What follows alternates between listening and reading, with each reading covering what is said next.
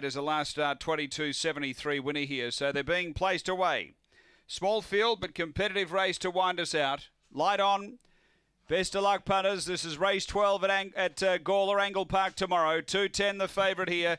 Away, Jack in Black, the favourite, step well. It's pushing up to lead early. Emily Dryad through to second. They were followed by Rachel Zane, the inside top weight. Then I'm a Smithy. And Zellman back at the tail end. Jack in Black clear. Out a length and a half on Emily Dryad and a couple away top weight. Next is Rachel Zane up to the turn. Jack in Black straight in the leader is clear of Emily Dryad. And Jack in Black. Jack in Black beats Emily Dryad. Top weight third. Rachel Zane next. Then Zellman and I'm a Smithy was back at the tail end.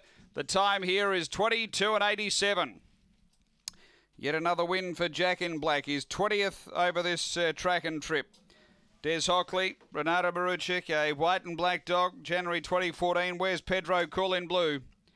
Number one, the winner, Jack in Black. Second to five, Emily Dryad, Judy Hurley, a black dog, February 2014. Magic Sprite, Emily Bell.